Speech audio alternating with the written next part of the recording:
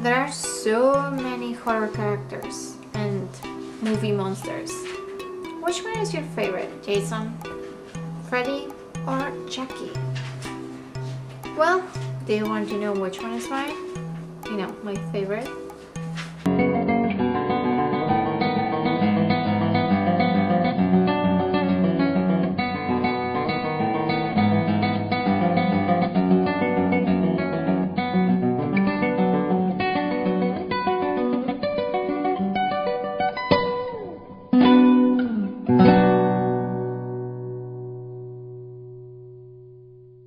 I know I'm not the only person who is terrified of clowns.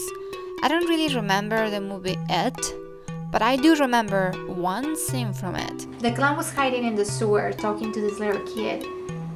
And well, I have to say that was pretty creepy. And after that, I just hated walking by the sewer, especially if it was raining. What is the scary character that got stuck in your head? Do you have a favorite scene? So, as you probably suspect, I decided to do a painting of a scary, scary clown. So at first I was looking for a picture of the clown from the movie and then I thought, you know what, what for? I should let my imagination go crazy and I should, you know, do something that is scary to me. Very, very scary.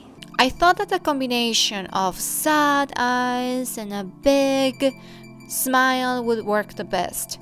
Doesn't it seem like the scary characters are often people or creatures who suffered a lot, or maybe were abused, or in some way carry a lot of pain with them? Poor monsters. Now, if I did sad eyes and sad face, that would be a sad clown, and maybe even a clown you would feel sorry for. But if I combine sad eyes and a grotesque smile, we might have something creepy, the creepiest of all. That's why I made this big, kind of deformed smile. You know, it's like the clown is doing this big.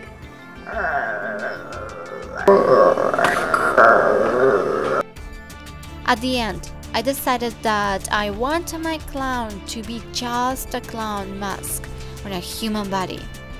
Because, well, to be honest, I am much more terrified of what people can do than monsters or supernatural stuff. So, there you go.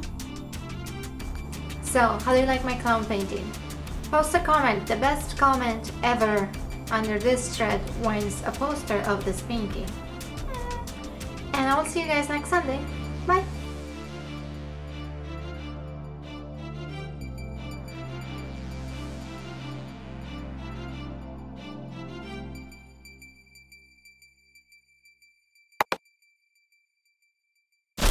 Eat your cookies. Hmm.